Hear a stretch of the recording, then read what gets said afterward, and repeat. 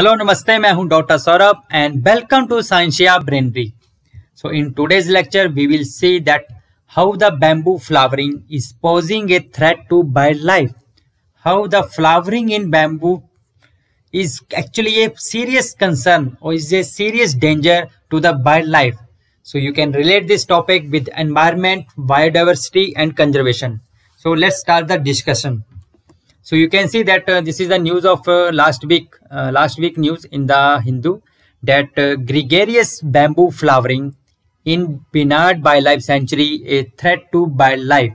Okay. So what do you mean by actually, firstly, what do you mean by the gregarious? Okay. Gregarious flowering means that when all the plants of a particular species, when all the plants of a particular species, they flower at the same time and regardless of and that is regardless of their geographical location or climatic conditions means the when the flowers mean the plants of a particular species जब किसी एक particular species के जो plants होते हैं they flower at the same time and that is regardless of their geographical location and climatic conditions and after the flowering they die a few years later so that is this type of behavior in the plants actually that is termed as the gregarious flowering okay when the plants die after the flowering actually.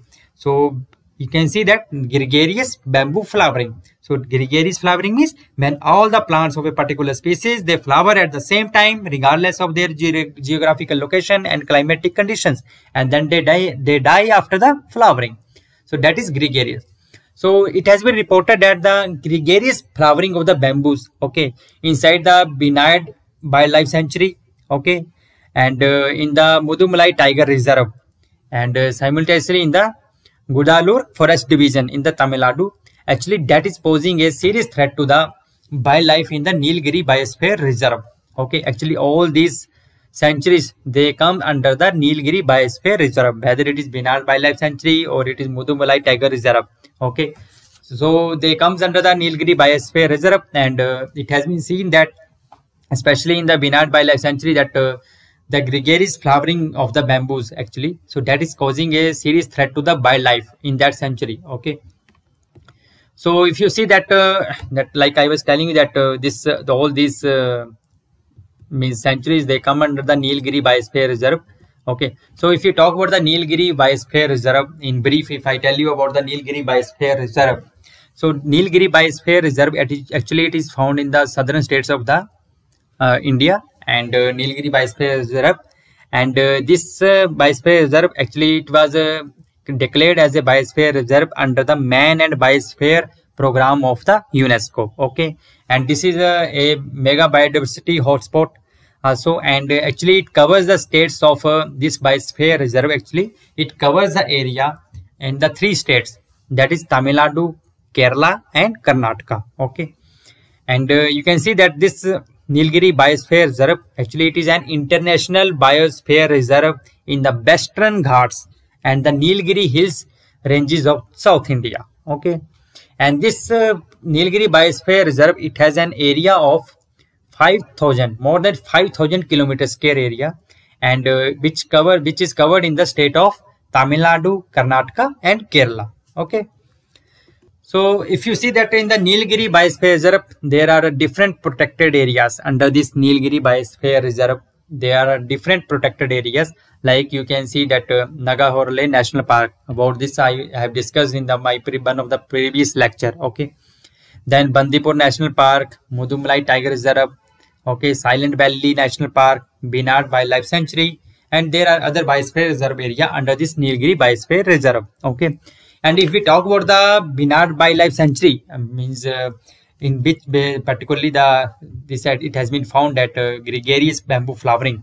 So this Wayanad Wildlife Sanctuary, it is an animal sanctuary in the Wayanad, Kerala, in the Wayanad district of the Kerala, and uh, this in Kerala, in the which is southern state in the India. Okay, so actually, it, the main uh, habitat species in this uh, Wayanad Wildlife Sanctuary. Okay, so you can see that uh, the main habitat of these Wayanad wildlife sanctuaries are elephants, tiger, Indian bison and deer.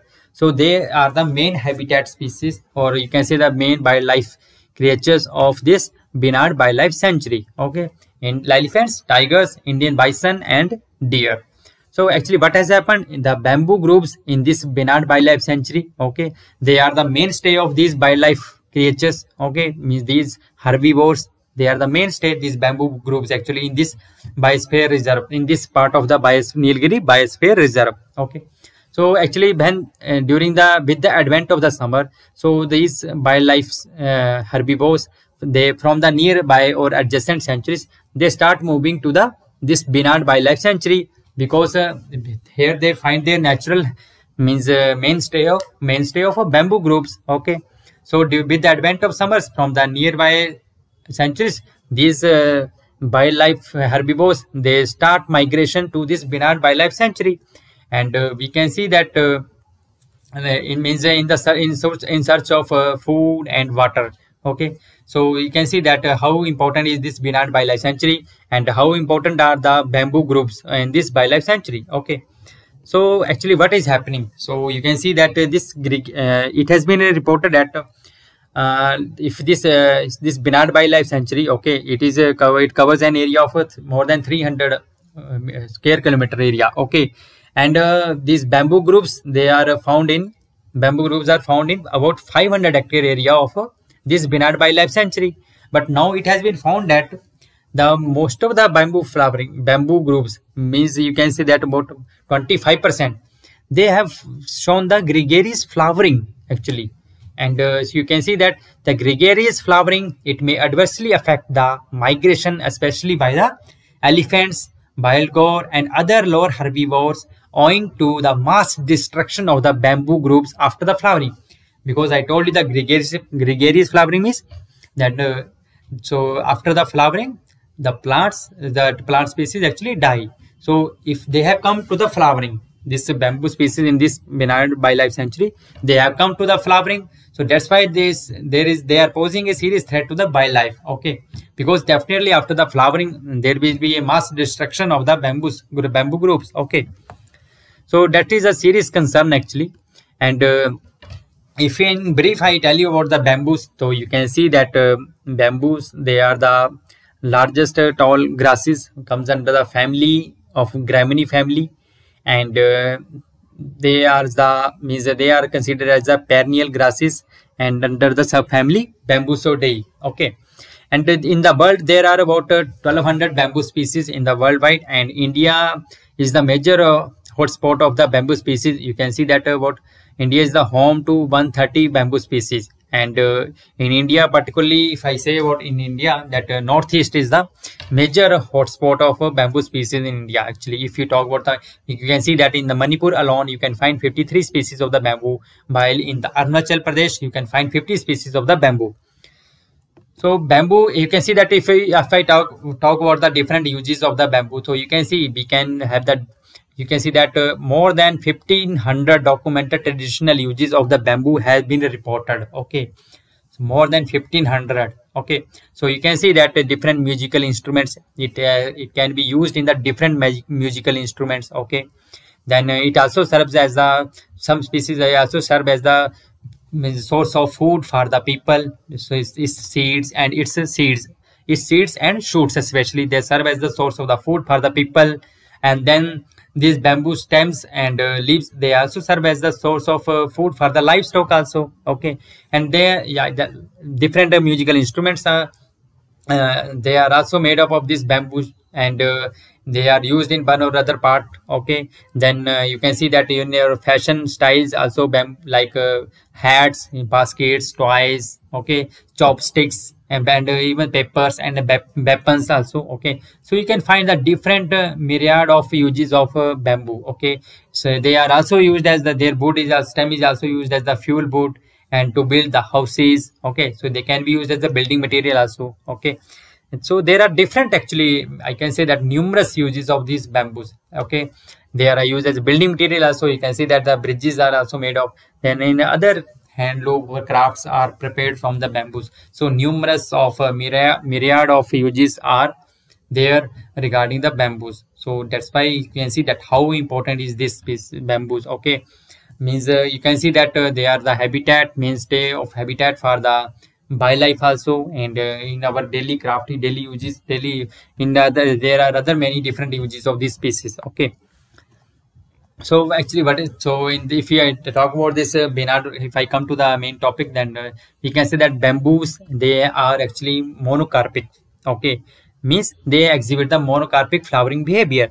Monocarpic means means bamboos dies after the flowering. The plant species monocarpic plant species which dies after the flowering okay? So they are called as monocarpic okay? So bamboos exhibit the monocarpic flowering behavior okay? And uh, their inflorescence is compound inflorescence and uh, after the fertilization this uh, means poly after the pollination fertilization take place and seed formation occurs. Okay. So bamboo flowering bamboo flowering is a peculiar phenomenon. Okay. Because uh, they have the monocarpic flowering habit so it is a peculiar phenomenon. And most of the bamboo flowers plants they flower only once in their life cycle. Means after the flowering they die most of the species. Okay and in only uh, however there are some species which flower only once every 40 to 50 years. Okay. Uh, some species they flower only once in the life cycle and some species they flower in 40 to 50 years. Okay. So we can say that this is something mysterious about the bamboo flowering behavior. Okay. Bamboo flowering phenomenon. Okay. And uh, mostly so we can say that uh, monocarpic flowering behavior so we can say that all the members of his particular species they will flower at the same time means they will flower simultaneously and they will die simultaneously okay? So we can say that this situation as a mass suicide okay? So after flowering they die in some kind of a mass suicide okay? So in that context what is happening now in the Wayanad Wildlife Sanctuary, it has been reported, which is under the Nilgiri Biosphere Reserve, that over the 25% of the bamboo groups in this uh, Wayanad Wildlife Sanctuary, they have come into the flowering means uh, from the if you from the last one decade if they are noticing that from the last this behavior from the last one decade uh, from the period of 2020 2010 okay.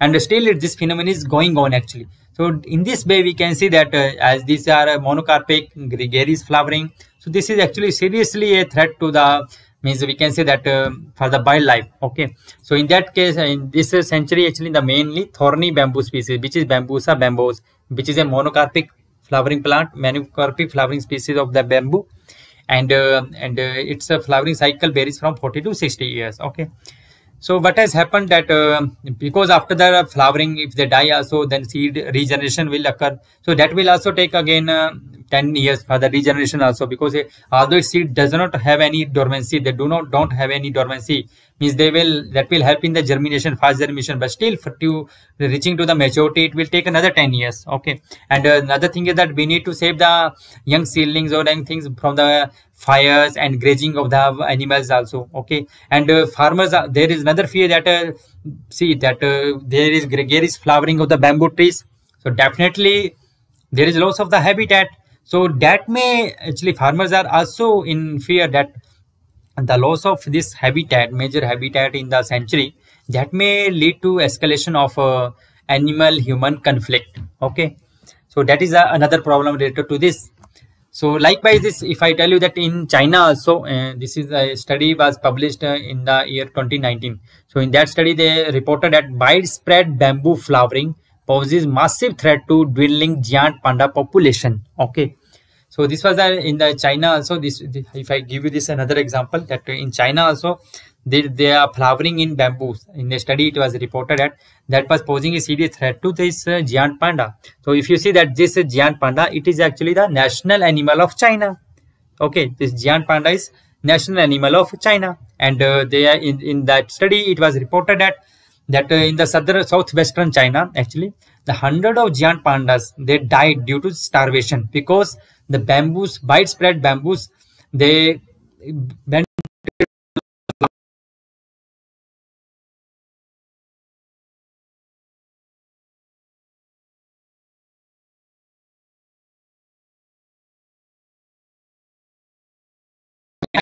they mainly depends on bamboo shoots for their food. Okay so that study actually was published in the journal biological conservation and the scientists reported that bamboo flowering, it could pose a massive risk to the survival of China's national animal. So that's why because that uh, like I told you that by these, these giant pandas, these giant pandas actually for them the most uh, their main source of nutrition is bamboo shoots and uh, they refuse to eat the bamboo trees when they are in the flowering. Bamboo shoot when they are in the flowering okay? And the next uh, the shoots will come into the maturity after the 10 years after the regeneration. So that's why the loss of the major food source that is uh, posing a serious threat to the giant panda china's national animal too okay? Chinese national animal also under the um, under serious threat due to the this gregarious bamboo flowering habit so but scientists have recommended that we should use the different species in the century. We should go for the uh, germination or growing of the different bamboo species which have the different flowering habit. Okay. So some has the monocarpic or some has the flowering habit is 40 to 60 year cycle. So some we need to actually look for the uh, rotation in we can say that uh, different species. We need to grow the different species in the wild centuries. That could be one of the option actually. So you can see that uh, then ideal giant panda habitat it must therefore contain at least two bamboo species that flower at different times to allow the pandas to migrate from one bamboo patch to another when the first species flower. Okay. So that is the one of the better or good option and uh, i think so that uh, across uh, india should also adopt for this. And uh, because different bamboo species they have the different flowering habit bearing from the 20 to 60 years. Okay. So that is the best option that use of the different species in a particular place in a particular century. Okay. Because if one species they come into flowering then they can shift to the another one second one. Okay. So you can see that in detail if you want to study uh, read about this whole study about the next that uh, next by spread bamboo flowering poses a massive risk to the giant panda. So you can see that uh, conservation of the bamboos, it is also uh, important, one of the important for the wildlife, whether it is in India or in uh, China or any other places of the world, because they are serving. You can see that there are different uses of the bamboo trees. More than 1500 traditional uses already has been reported. Then other uh, uses also they are also serving as the food source for the humans for the livestock also okay? Like you see the pandas or other livestock okay? They are the source of habitat also mainly have main mainstay of habit mainstay in there in the habitat of the wildlife okay? So that's why this uh, flowering means gregarious flowering of the bamboo trees actually it is, it is a serious concern and we need to look for the alternatives and the management practice better management practices whether you go for the growing of the two different species. Okay like that. So anyway with this i would like to end today's lecture. And uh, if you find something interesting and if you like the video please share subscribe and like. Okay? And uh, with this i would say thank you. Stay happy stay blessed and stay safe. Thank you